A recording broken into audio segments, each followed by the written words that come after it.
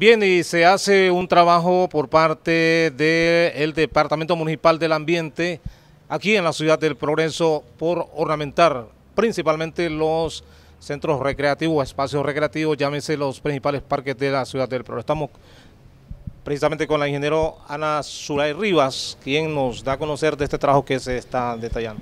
En efecto, verdad, estamos, eh, como ustedes pueden ver, hemos trabajado en lo que es la ornamentación del Parque Ramón Rosa y de igual manera pues hemos dado inicio a la ornamentación en el Parque Las Mercedes, ¿verdad? Aprovecho pues estos espacios a solicitarle a la ciudadanía que nos apoyen respetando las áreas de, jardín, ¿verdad? Eh, en el, hemos, hay espacios pues destinados en los cuales las personas pueden sentarse a descansar, disfrutar de la brisa que se pueda dar en más que todo por la tarde, y pues solicitarle a la ciudadanía que nos ayuden, ¿verdad? Mantener el ornato y la limpieza de los parques, ¿verdad? Las Mercedes de igual manera estamos en el proceso de rehabilitar la fuente de agua y pues solicitamos a la ciudadanía que no nos la agarren de basurero, ¿verdad? Que muchas veces pues eh, la, la utilizan de basurero.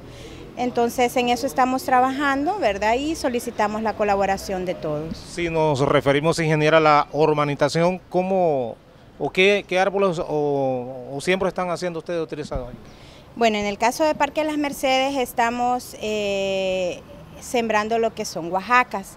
La oaxaca es, eh, ha sido pues eh, oficializada como la flor de nuestra ciudad, de nuestra ciudad bonita. Entonces estamos en ese sentido ornamentando nuestras áreas verdes con esta flor que es nuestra flor municipal. ¿Van a mantener este trabajo? Exactamente, esa es la idea, ¿verdad? Continuar con ornamentación en el Parque Las Mercedes. Eh, debido a la sombra que dan eh, eh, los árboles que se encuentran en el parque, pues estamos evaluando qué cobertura vegetal damos, ¿verdad? Pero en aquellas áreas de jardinería, pues vamos a poner flores como la Oaxaca.